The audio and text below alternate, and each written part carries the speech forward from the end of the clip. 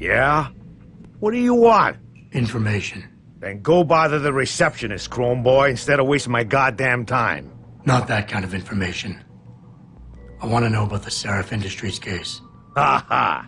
And I want a blowjob in a vintage 05 Bard GT, so I guess we both keep on dreaming. Huh, metalhead? I know you handled the critical evidence linked to the case, and I want to know about it.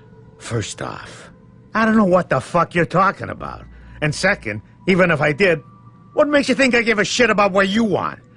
Now, I strongly suggest you take your high-tech toaster-looking ass out of my way before I handle you. Takes a concentrated look at what happened here tonight. Well, she knows what's what, that's why. These offices are off limits to civilians, sir. Don't go in there. Don't get me started on that liberal crap. Yeah, yeah, hang on just a sec. Shit.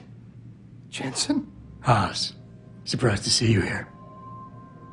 Yeah, well, I guess you're better at looking out for yourself than I am. I don't have time for your self-pity. I need to get into the morgue. That's it? Now, forget it. I don't know what's going on with that body down there, but my orders come from the brass. No one gets in. First thing you say to me after almost two years is you want something? Should I have given you an order? You've always been very good at following those. God damn. Where do you get off being so self-righteous? You think I like this? Look at me. From SWAT team commander to a crummy desk sergeant in the Tubit precinct. I don't need this from you. I get enough of it at home. So either come up with something better than your usual attitude, or you can just forget it, because you came to me.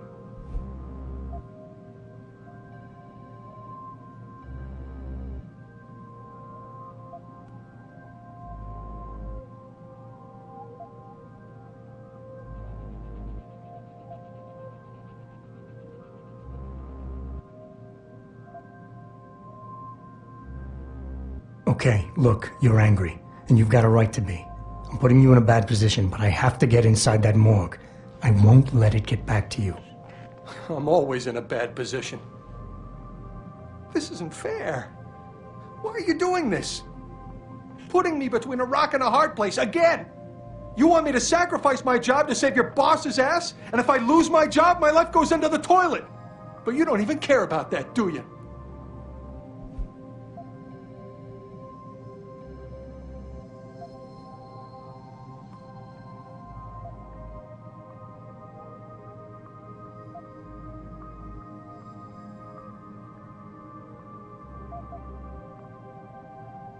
Yes, your job is at risk.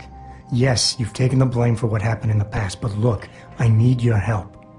And it's important. You got my word, whatever happens, I'll take care of you. Well, that might be a start. Everything goes back to that day. I shot a kid, but he was dead before I did that. He chose to make himself a weapon, and he could have gone through us like tissue paper with those augments of his.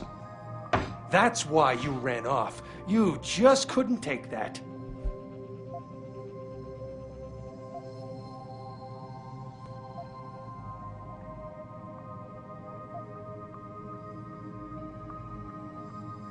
We all make mistakes, Wayne. Nobody blames you for it.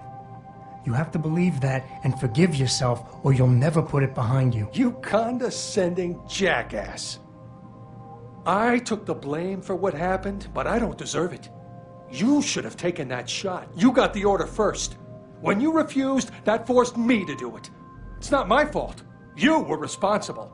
And I want to hear you own up to it.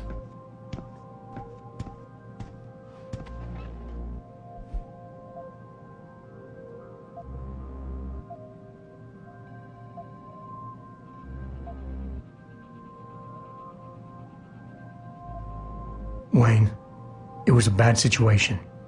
You didn't do anything wrong. Adam, I. Thanks. The door's unlocked. I'll tell the guys to let you through. Now, uh. I need to be alone for a while.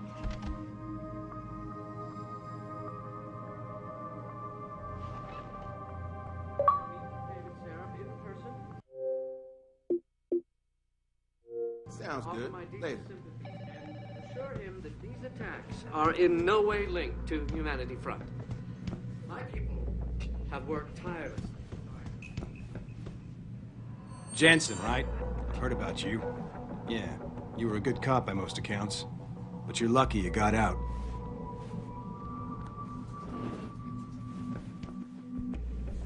Are you supposed to be here, sir? I thought the station had been locked down.